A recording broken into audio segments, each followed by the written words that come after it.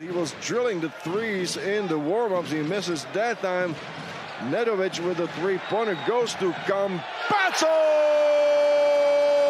First three-point for Facundo Campazzo! Luka Mitrovic, number nine. There you see the first basket for Facundo Campazzo. And warning given to Corey Walden. On the drive. Oh, nice play there. And Luka Mitrovic. That is beautiful. Campazzo starts the offense, calls Hassan Martin to set the screen. And a nice pass from Campazzo to Martin.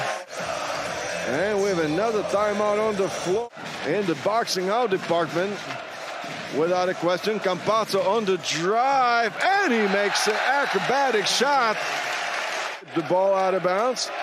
There is the drive with Corey Walden, Niels Giffey, and we got a team captain, Vladimir Lucic, in the game who gets burned on that play. And it's Filip Petrushev. He's been shooting over 45% in the season. Nedovic wrestles the rebound.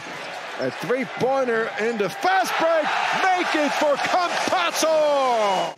As they take a seven-point lead. Look at the replay. A fast break finish with a long-distance bomb. Winston, Winston turns the ball over again, and a fast break. Oh, almost a missed layup. What a tenacious defender, Freddie Gillespie. And here the fast break that was finished by Nemanja Nedovic. Corey Walden, an incredible comeback by Bayern Munich. A three-pointer by Campazzo is not going to change anything.